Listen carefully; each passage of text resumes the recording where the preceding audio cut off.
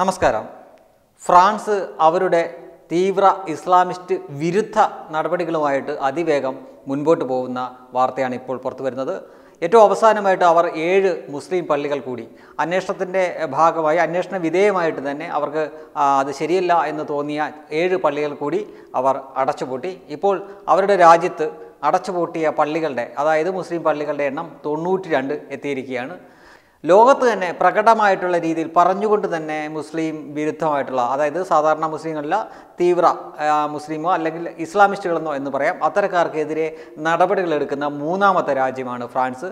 ഒന്നാമത്തെ രാജ്യം നമുക്ക് ഏവർക്കും അറിയാവുന്ന പോലെ മധുര മനോഹര മനോജ്ഞ ചൈനയാണ്. ചൈനയിൽ തീവ്ര ഇസ്ലാമിസ്റ്റുകളുടെ ഒരു പരിപാടിയും നടക്കുകയല്ല. അവർ ആദി ക്രൂര അല്ലെങ്കിൽ നിഷ്ഠൂരമായ രീതിയിൽ തന്നെ അടിച്ചമർത്തുന്നുണ്ട്. എന്തായാലും ഇവിടെയുള്ള കമ്മ്യൂണിസ്റ്റുകളൊന്നും അത് വാർത്തയാക്കാൻ തയ്യാറാവില്ല. പിന്നെ നമ്മൾ ആ വാർത്തയൊക്കെ അറിയുന്നത് ദേശീയ ചാനൽ കൂടിയാണ്. എന്തായാലും ഇപ്പോൾ ഈ ഫ്രാൻസിൽ സംഭവിച്ചത് എന്തെന്നാൽ അവിടെ നിലവിൽ അഞ്ച് ശതമാനമാണ് മുസ്ലിം ജനസംഖ്യ. പക്ഷേ ആ അഞ്ച് ശതമാനം ആയപ്പോൾ തന്നെ രണ്ടോ മൂന്നോ തവണ അവർ അതിന്റെ ആ ക്രൂരത അതായത് തീവ്ര ഇസ്ലാമിസ്റ്റുകളുടെ ക്രൂരത അനുഭവിക്കേണ്ടി വന്ന രാജ്യമാണ് ഏറ്റവും അവസാനമായിട്ട് അവ അവരുടെ ഒരു സ്കൂളിലെ അധ്യാപകൻ സാമുവൽ പാറ്റി എന്ന വ്യക്തി അതി ക്രൂരമായ രീതിയിൽ കഴുത്ത് അറക്കപ്പെട്ട് കൊല ചെയ്യുകയുണ്ടായി. അതിനുശേഷമാണ് അവർ അവരുടെ നിയമത്തിൽ തന്നെ ചില കാര്യങ്ങൾ കൂട്ടിച്ചേർക്കുകയുണ്ടായി. അതിലൊന്ന് മതവിമർശനം മൗലിക അവകാശമാക്കി മാറ്റിയവർ. അതായത് ആർക്കും മതത്തിനെ വിമർശിക്കാം. അത് ഇന്ന മതമൊന്നുമില്ല. ക്രിസ്ത്യൻ മതത്തിനെ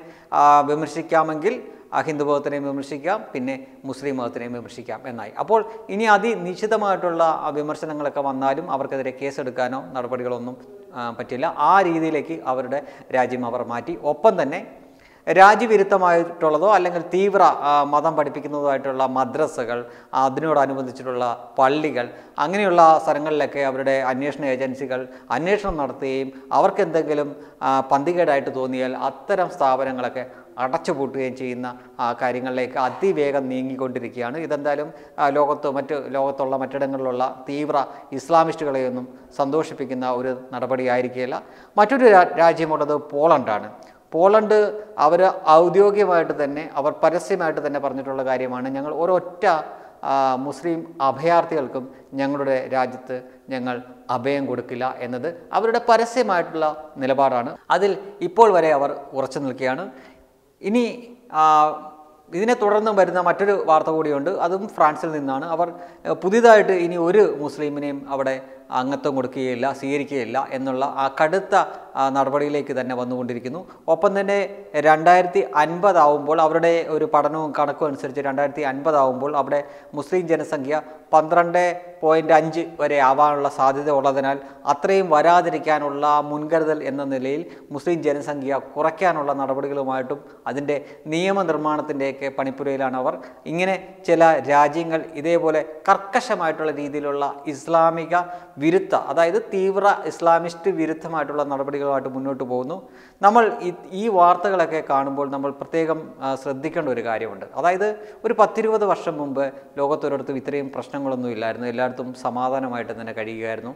മുസ്ലിങ്ങൾ പൊതുവേ മുസ്ലിങ്ങൾ സമാധാനമായിട്ടാണ് കഴിയുന്നതെങ്കിലും ഇവരുടെ ഇടയിലേക്ക് ചില തീവ്ര ചിന്താഗതിയുള്ളവർ വന്നു ചേർന്നപ്പോഴാണ് ഇവരുടെ ഇടയിൽ ഈ മാറ്റങ്ങളൊക്കെ ഉണ്ടായത്. പക്ഷേ ഫ്രാൻസിനെ സംബന്ധിച്ചിടത്തോളം അവരത് മുളയിലെ നുള്ളിയേക്കാം എന്നുള്ള തീരുമാനത്തിലെത്തുകയാണ് ചെയ്തത്. പക്ഷേ ബ്രിട്ടന് ആ ഒരു തീരുമാനം എടുക്കാൻ പറ്റിയില്ല. ഈ ഏറ്റവും അവസാനമായിട്ട് ഇംഗ്ലണ്ടിലെ ലണ്ടൻ മേയർ മേയർക്ക് തന്നെ സ്വന്തം ജീവൻ ബലി കഴിക്കേണ്ടി വന്നു എന്ന് പറയാം. അദ്ദേഹം ഏഹ്, കത്തിക്കുത്തേറ്റാണ് കൊല്ലപ്പെട്ടത്. അതും ഒരു ഐ എസ് അനുഭാവിയായിട്ടുള്ള ഒരു തീവ്ര ഇസ് ഇസ്ലാമിസ്റ്റാണ് അദ്ദേഹത്തിനെ കൊന്നത്. പക്ഷേ അവർ അതിനെ തുടർന്ന് അവിടെ ഈ- നിരോധനമോ അല്ലെങ്കിൽ പള്ളികൾ അടച്ചുപൂട്ടുന്ന ആ ഒരു തീരുമാനത്തിലേക്കൊന്നും പോയില്ല. കാരണം നിലവിലെ സാഹചര്യത്തിൽ അവർക്കതിന് പറ്റില്ല എന്നതാണ്. കാരണം ഇംഗ്ലണ്ടിലെ ഏകദേശം കുറച്ച് സ്ഥലങ്ങളൊക്കെ ഈ തീവ്ര ഇസ്ലാമിസ്റ്റുകളുടെ കയ്യിലായി കഴിഞ്ഞു. അവരെ വെറുപ്പിച്ചുകൊണ്ട് അല്ലെങ്കിൽ അവരെ എതിർത്തുകൊണ്ടൊന്നും അവർക്ക് ഒരു തീരുമാനമെടുക്കാൻ പറ്റാത്ത അവസ്ഥയിലാണ്. ഇതൊക്കെ കണ്ടിട്ടാവാം ഒരുപക്ഷെ ഫ്രാൻസ് മുൻപേ തന്നെ മുളയിലെ തന്നെ അഞ്ച് ശതമാനം ആയപ്പോൾ തന്നെ ഇതിനൊരു തടയിട്ടേക്കാം എന്ന് കരുതി ഇപ്പോൾ ഇത്തരം കാര്യങ്ങൾ ചെയ്യുന്നത്. വെബ് ഡെസ്ക് തത്വമൈ ന്യൂസ്